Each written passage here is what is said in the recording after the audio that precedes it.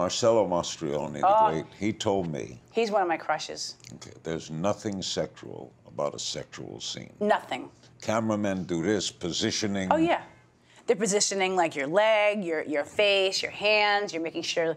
I mean, I have like, if I'm topless, they, they have tape over my boobs. There's no nipple. There's no side boob. There's no butt crack. They put a, a strip of uh, a G string that's beige and, and and tape it to your vagina up to your butt, the back of your butt. I mean, it's very very mechanical.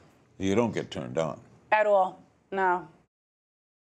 Watch new episodes of Larry King Now Monday, Wednesday, and Friday on demand on Ora TV and Hulu.